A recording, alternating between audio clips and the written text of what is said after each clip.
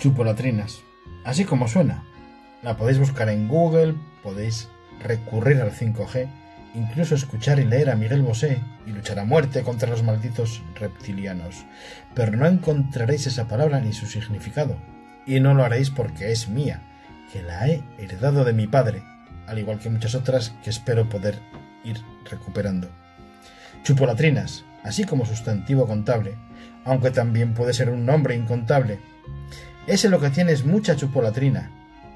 Decía Pepe por poner un caso cada vez que salía Fraga y Iribarne en la televisión. Chupolatrinas, para definir actuaciones varias. Otro ejemplo, cuando salió el rey emérito y corrupto hablando como si pareciese compungido tras aquel intento de golpe de Estado del 23 de febrero de 1981. Solo sabe decir chupolatrinas.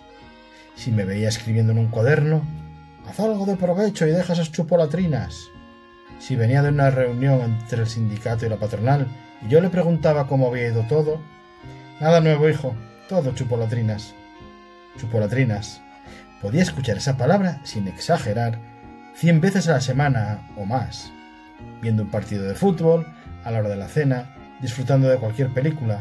Bueno, eso en mi caso, que él las odiaba casi todas. Hay que vivir de realidades, no de chupolatrinas. Y así un día tras otro y tras otro. Chupolatrinas.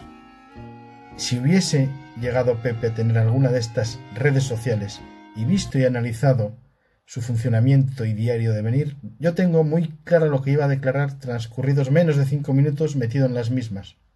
Chupolatrinas, José Luis, todo esto no son más que chupolatrinas.